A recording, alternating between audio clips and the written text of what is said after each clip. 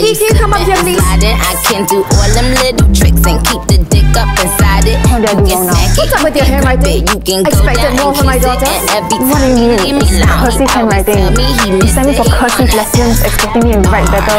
Now you're telling me what's up with my handwriting. I really don't know what you want from me, mom. Oh, okay. My bad, dear. Maybe it's time for you to get some cursive reading lessons, mom.